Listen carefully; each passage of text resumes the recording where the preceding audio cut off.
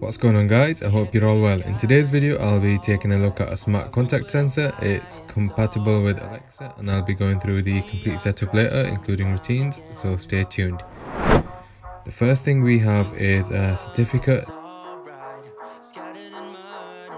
the 3M tape for a hardware free install and some screws and plugs if you want a more permanent solution. Next is the main body of the contact sensor and the accompanying bit, not sure what you call it.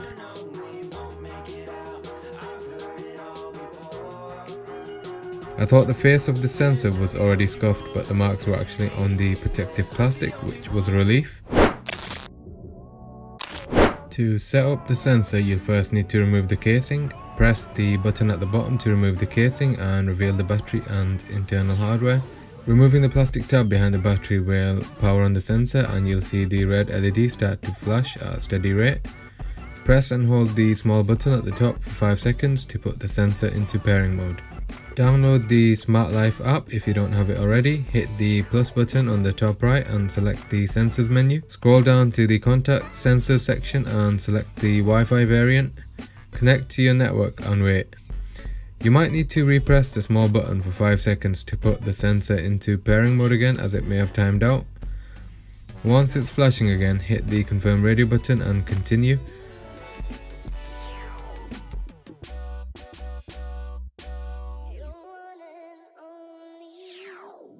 Once connected, you should see a notification indicating that the sensor has been added to your ALEXA account, but only if you've connected Smart Life to Alexa previously. If you haven't, enable the Smart Life skill and any new Smart Life products you add will automatically be added to your Amazon Smart Assistant. Exploring the sensor in the app, you have a view of the battery life. It's not a clickable option and I'm assuming this will change depending on the battery level. The notice option allows you to turn off notifications for when the sensor is opened or closed and the final option is the sensor's opened or closed history. Before installation I thought I'd check how responsive the notifications are. From the video you can see that it can occasionally take 4 seconds or more to show a notification which I think is okay in most use cases. If you open a door, enter the room and close the door within a couple of seconds, then there is a chance you may miss a notification, but it's super unlikely. I'll demo the responsiveness using Alexa routine later in the video to give you an idea of how the sensor performs. Before using the 3M tape to install the sensor, I used a bit of tape to do a test fit and made sure it was all working as expected. Once happy, I applied the 3M tape to the back of both sensor bits and installed them.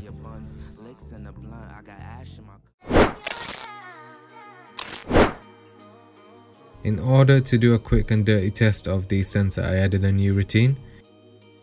For this routine, I've set the smart contact sensor being opened as the when condition.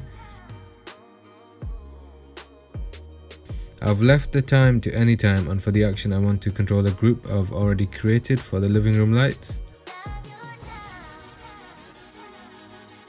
When the sensor is in the open state, the lights will turn on at 50% brightness with a cool white colour.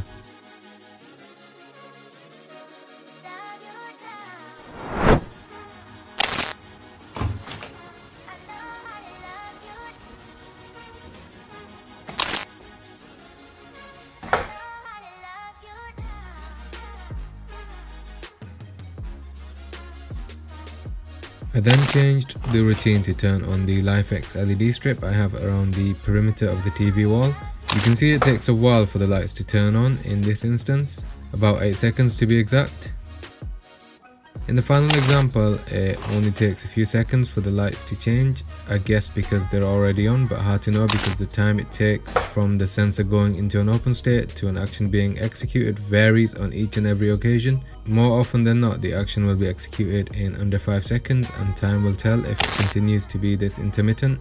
My primary use for the contact sensor was security, rather than controlling lights, so I'm not too bothered by the intermittent execution of actions after the contact sensor changes states. I have a routine that will turn the lights on in my bedroom and have the Amazon Assistant spit out an audible message in a loop if the back door is opened anytime between 11pm at night to 7am in the morning. This gives me added peace of mind knowing that I have an additional security layer in my home.